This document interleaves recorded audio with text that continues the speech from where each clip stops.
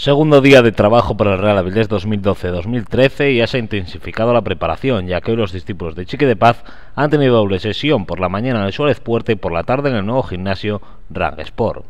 El extremo Emilio sigue sin entrenarse debido a sus problemas de tibia y no será al menos hasta el lunes cuando pueda ponerse a disposición del Mister Chiqui de Paz y eso si se le pasa el dolor de la pierna.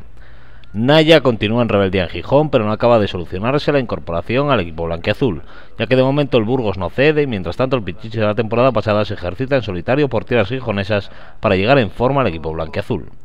En la sesión de tarde comenzó a prueba Iker Alconero,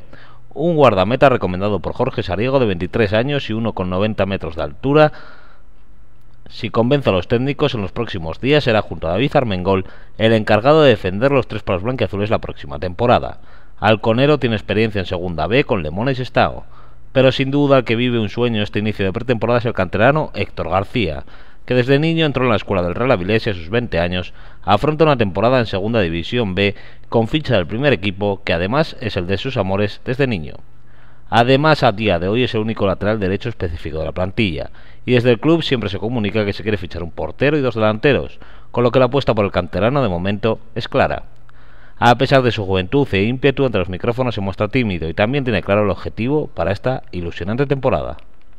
Pues a ver, esperamos que, bueno, vamos a empezar con un rival muy difícil contra Oviedo, que bueno, que ahí se verá qué tal estamos de forma física y esperamos sacar los tres puntos para, para seguir en adelante y, y conseguir por lo menos 50, 60 puntos para mantener la categoría y, y afrontarla bien. Desde pequeño es aficionado del Real Avilés y ahora pide el apoyo de la afición para conseguir el objetivo de la permanencia un año más en Segunda B,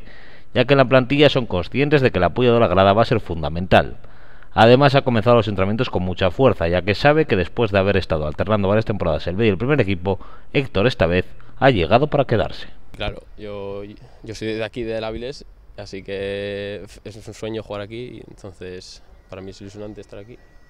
El año pasado Héctor corría la banda derecha de campos de regional preferente con el filial blanqueazul y esta temporada la correrá de campos como el Tartiere, el Heredero Rodríguez López o el El Mántico entre otros. Cambio radical. Y claro, pasas de jugar en otro tipo de campos de tercera y pasas a jugar a, a, a estadios ya, y con mucha gente ya viéndote, muchas cámaras, la presión de afición, pues nada, es un, una categoría muy bonita. Pues Héctor García está día a día esforzándose al máximo para convencer a Chiqui de Paz que tiene que ser el lateral derecho titular de este equipo. Por ganas, seguro que nadie le va a ganar.